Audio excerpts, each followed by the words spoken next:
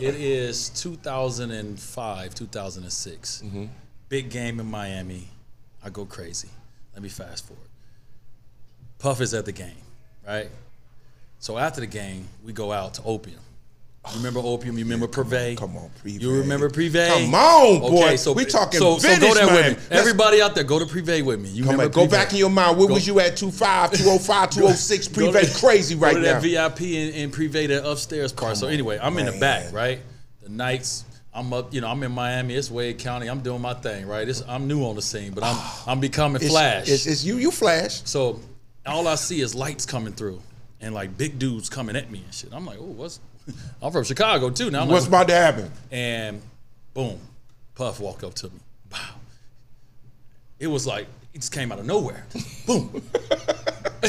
and he was like, I'm about to make you the first NBA superstar model in the world. Get in touch with me. Are you serious? Yep, I'm gonna get my. He was. uh, He was like, I'm gonna get my assistant. He was like, get my, get your assistant to call my assistant. Get in touch with me. I was at Puff House the next night, sitting in his fucking living room, looking around that mansion, like, why am I here? Right. I signed with Sean John that night.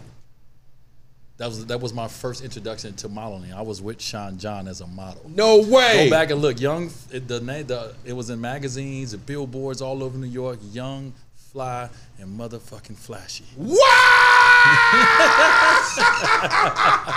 Motherfucking flash. so it was. So it's in you. So yeah, so like he he saw it, but he saw it first, right.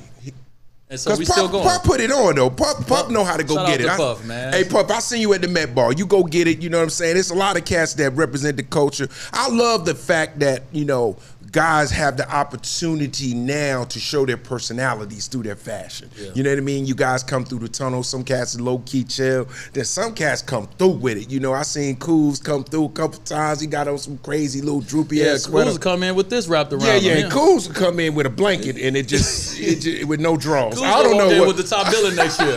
Hey, you want to do some marketing? Go ahead and pay somebody walk in with the I top know, billing. I know, like, but you you always been um, you know, a fashion guy. You and Gab do it well. You know, you guys are fly. You you incorporate it into your brand. You know what I mean? I like I love what you guys are doing.